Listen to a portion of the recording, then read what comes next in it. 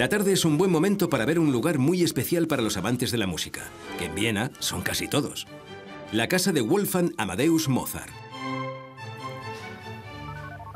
Bueno, ahora sí que estamos en la casa de Mozart.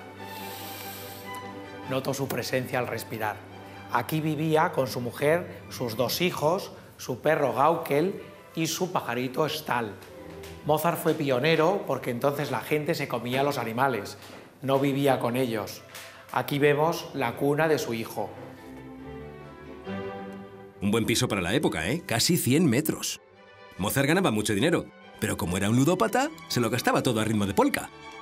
En ninguna otra ciudad del mundo han nacido o vivido tantos genios musicales como en Viena. Schubert, Strauss, Beethoven, Brahms, Chopin, Vivaldi, Mozart. Los músicos que vivieron en esta ciudad tenían una costumbre curiosa, cambiar de casa. Beethoven vivió en al menos 18, a Schubert se le conocen 10 y a Strauss cuatro casas distintas.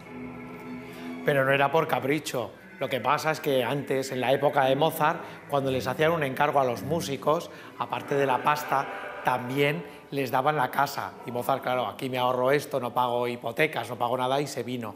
Esta es la mesa de Mozart y la silla, uy, qué incómoda, Dios mío. No sé cómo pudo componer tanto. En 2006 se celebra el 250 aniversario del nacimiento de Mozart. Otro motivo para visitar Viena y descubrir las mil formas de promocionar su figura.